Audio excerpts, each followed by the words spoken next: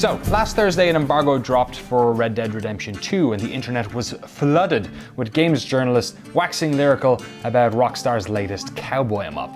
I too got to play the game. I drove 220 odd miles up to New York and back on Friday to play the game myself. Uh, but I did so after I had spent a good deal of time reading what everyone else had thought of the game. And when I was reading that stuff, I got the sense that there was something new that this game was doing that was really exciting people that wasn't really about all the things you can do in the game. A sort of untangible je ne sais quoi or something that everyone who played it seemed to feel. So when I went up to play it, I was less interested in detailing all the things you could do, and more I wanted to tap into what exactly that was. For my time playing the game, I also had that feeling of something incredible that this game was doing that I'd never felt before. Uh, so I spent the drive home and most of the, the weekend thinking about what exactly that was and trying to put words to it. To try and explain what it was about this game that felt more than the sum of its parts. So that's basically what this video is. I'm not going to get into story spoilers or much into the detail of what you can do in this game. I'm mostly going to try and communicate what that thing is, that sort of amorphous quality that Red Dead Redemption 2 has that's getting everyone so excited. To do this, I have come up with a three layer system. It's like a cake or a YouTube list video. I guess I've just made one of those. That'll hopefully try and communicate what it is about this game that's familiar and what's different. So here we go. Layer number one, this is a Red Dead Redemption game. Surprise! This game plays like a Rockstar open world game. You have a gun, you can shoot things, you ride around on a horse, there are missions. You can fail those missions, you can wander out of the mission area and have to redo them. There's an open world to explore, your character is interesting and talks to people. Those people are interesting. You can steal horses and punch people and look at the big skybox and go, wow, that's a really beautiful sky. Sorry, I don't want to be reductive, but just for those who are wondering, because they read all the stuff about how detailed this world is, it still feels like a Rockstar open world game. Don't worry. Next layer. Layer number two, new features, more detail. This is what most people were reporting on, all the cool new things you can do in this game. And that's kind of what we've come to expect from a new Rockstar open world game, is that it takes all the things we enjoyed from the previous one and then adds in a bunch of extra stuff. So there's loads of extra stuff in here. There's entire list videos about the graphics and how good they look and the weather system and how good the interior lighting is. The detail and physicality of this world, how things like your weapons degrade over time. They don't break, but you have to clean them to make sure that their stats are at their highest level. If you go in the water, your weapons will get waterlogged. If you kill somebody out in the open, you should hide their body in a bush or something so that nobody reports the murder to the authorities. How if you shoot a coyote too many times, the pelt might get ruined and then you won't be able to skin it and sell it, but you can probably still sell the carcass so you can throw that over your horse and bring it to the local butcher. How you can open drawers and open doors and smash into doors if they won't open. A lot of things you can do with doors how you have this camp of characters that all require different things from you and wander up to you and talk to you. They don't, it's not like a game where you, you walk up to a quest giver and it punches in and they go, blessings of Stendarr upon ye. It's more naturalistic. People kind of just wander up to you in the camp and people call out to you. You can call out to people as well as they're riding by. In fact, you can talk to every NPC in this game. That's probably the biggest thing actually, is the fact that you can de-escalate conflict using talk. Actually, you can escalate it too. And from the limited time that I played, people were different. They wore different clothes and talked differently and had different attitudes. It's easier to rob somebody who's skittish than somebody who threatens you back or puts their hand on their holster. So too is it more interesting to de-escalate conflicts or perhaps intimidate a witness who saw you mug somebody. The game world also has an interesting memory when it comes to those things and also the main quest. A bunch of people I met in the town of Valentine, for instance, all kept referencing this fight that had happened. I think it's the fight that you saw in this trailer, so it's probably part of the main story. But having them reference that and sort of speak to your character, perhaps based on some choices you made in that mission, I can't tell, it fleshed out that world and felt more grounded and interesting. That's a sort of a small selection of the interesting features that are in Red Dead Redemption 2, but it's the next layer, the sort of unknown layer where things get really interesting.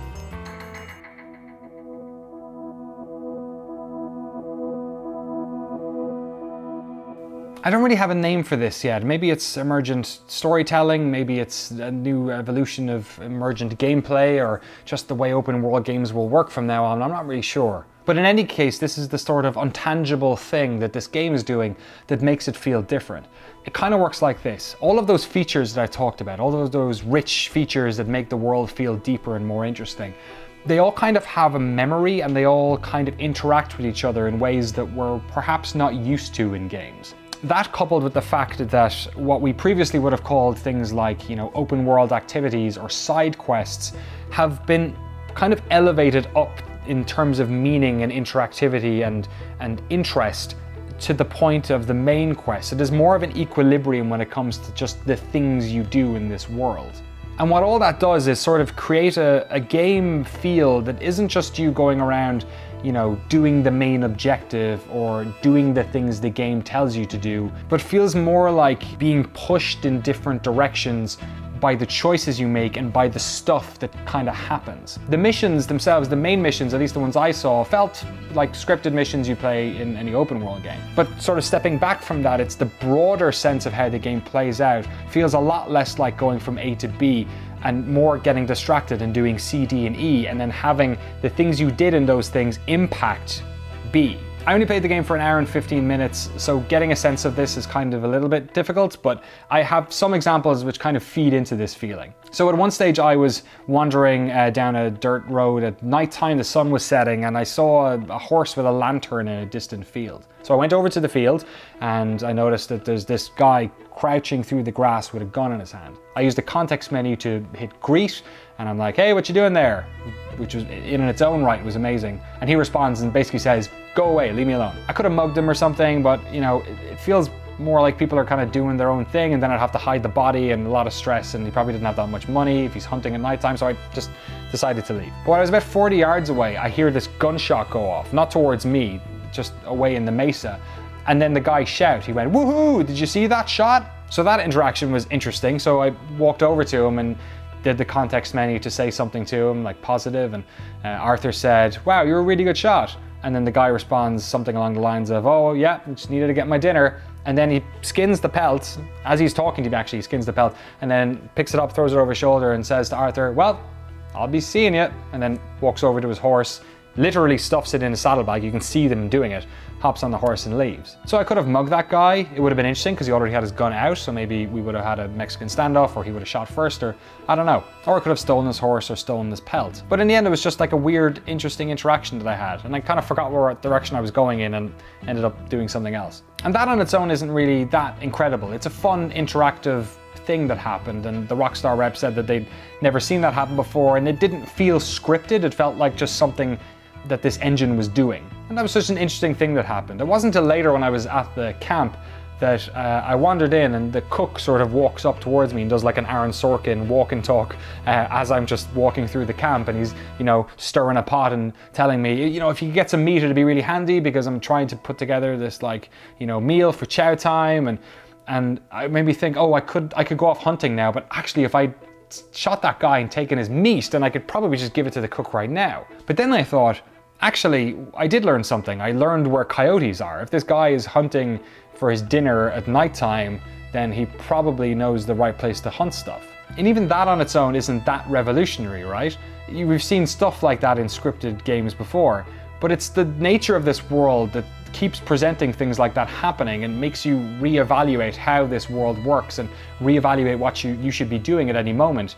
That's what's making this interesting. I have another example. I tried to rob a pharmacy, right? So this guy, there's a illegal drug thing happening in the back of this pharmacy. I go out to the front clerk, kind of GTA 5 style, put my gun up um, to threaten him. I accidentally shot him straight in the chest. He hits the ground and I'm like, oh no, I just killed him. And then he scared me because he jumped back up again, holding his wound and ran outside to get the sheriff. Long story short, I get hunted down by a bunch of lawmen. I end up getting my horse killed uh, and I die too, or die or whatever, and respawn um, somewhere outside of the town. It's still a video game. But now I need a horse. My horse is dead. So I can go in and buy a horse at the stable. I tried to uh, hold up a guy and he had like tuppence on him. So it wasn't really worthwhile. I then had to intimidate this other guy who saw me rob him. Um, I did so just by walking up to him and giving out to him, and then he told me to go away, and then I took my gun out, and then he was like, "Oh, okay," and promised not to tell anyone. But I'm still at a horse, so I'm looking around and I see this carriage with this, not this carriage, but a carriage not dissimilar to this one with a little horsey on it. So I detached the horse from the carriage. I'm feeling very proud of myself for figuring that out. And I wander around the back of the horse to see if I can like get on. And as I do, the horse like straight up just like boots Arthur right in the face, kicks him right in the face. I don't fall on the soft grass uh, beside the horse. He kicks me into the dirt road. So Arthur falls in like two inches of mud, totally cakes him, side of his face covered in mud. This is a fun, interesting thing that happens. We love this. We love when characters get wet up to the point where they're in the water. It's like, yeah. But what's interesting about this is that people actually react differently to you if you're totally caked in mud. So if you go into shops and stuff, people are like, get out. What's, what's wrong with you? In the same way as if you're drunk in this game, all the interactive, you know, menu stuff, conversation stuff changes too. So this is a problem. I'm trying to like buy a horse or like get someone to help me get a horse because I can't find any other horses to rob. Um, so I need to clean myself. So the Rockstar rep tells me there's a bath in one of the hotels. So I go into the hotel, the guy remembers me from the main quest, I guess, the fight I had, comments on the fact that I'm totally caked in mud, and is like, okay, I'll let you in to wash yourself, go ahead. So I wash myself, I get the special bath where a nice lady comes in and helps wipe me down and listens to Arthur prattle about his boring baths he's had in the past. He talked about how he used to bathe with his dog, it was really weird. So this whole thing happens just because I got kicked in the head by a horse. I have to go and clean myself. And then it has knock-on effects, right? So you wander outside and then suddenly the stores are closing and people have left, so there's no horses just lying around. I could probably steal one from outside a saloon or something, but probably be easier just to wait for the stables to open up the next morning. There's a button you can press outside stores that's just wait till morning, so I did that. And then you get a horse and you stick your own saddle on it and you go on your merry way. And again, that story in and of itself, not the craziest, most interesting thing that's ever happened in a game, but it wouldn't have happened in another game. My horse wouldn't have died. The horse wouldn't have kicked me into the mud. People wouldn't have interacted with me differently because I was covered in mud. It's all of these tiny little systems that are interacting with each other and forcing you to do different things. That, along with the sort of more intimate, deeper, more detailed and physical worlds that you inhabit, it's, it creates a different sense of a game. This doesn't feel like a game where you're just, uh, you know, a third person character sprinting around from mission objective to mission objective, doing the things that's on your shopping list of stuff you're supposed to do until you get to the credits. It feels like a world where not only are you more in touch with the physicality of the universe around you and how having your gun up is different to having your gun down or having your gun on your horse is different to here or that you're covered in mud or not or any one of these things, but also that the mission structure, it's almost like Rockstar trying to get rid of what a mission is. So that there's this even playing field of narrative where instead of doing all the things, you're bouncing from one activity to another. Your stuff is happening that's pushing you in a different direction. And I think that's the feeling that people have, that this world feels like it has more weight to it, that it's more textured, that the things that are happening are just more interesting and that instead of playing a game with missions, you're problem solving small human moments on a moment by moment basis. Obviously, it's impossible to tell if that's actually what they're doing in this game from a two hour demo where your hands are on the controller for about half the time. Stephen Totilo said something similar in his Kotaku article, and I totally agree. But what it felt like to me was an interesting system that screamed back when I screamed at it, that interacted believably to the things that I was doing, and that also interacted with me in ways that I'd never felt in an open world game before. Time will tell if that's the game that Rockstar have attempted to make, but it seems like they're swinging for the fences with this one. They have eight studios working on this, and you know, as the inventors of this genre and the sort of studio team that has attempted to push this genre forward every chance they've gotten, a game that they've worked on for this long with this many people you get the sense that they're trying to do something with it. And what I think they're trying to create is this game that feels less like a bunch of story missions connected by a big map and more a world that distracts you and interrupts you and makes you make decisions not based on your preference but based on the needs of your community and the things that are stopping you and preventing you from doing the thing you want to do.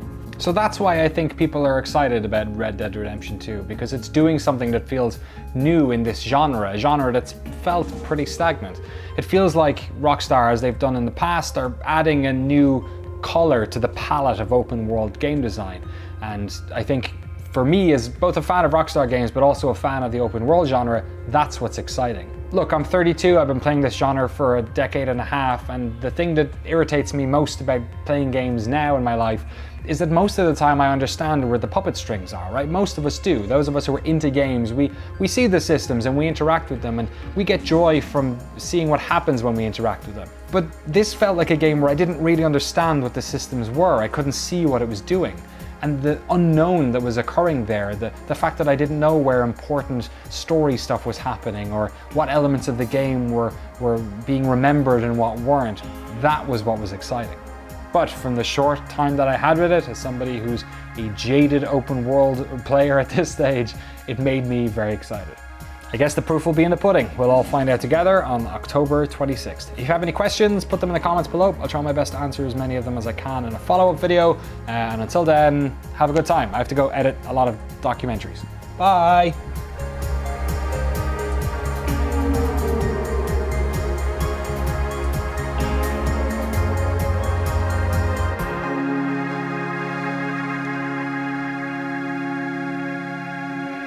Yeehaw!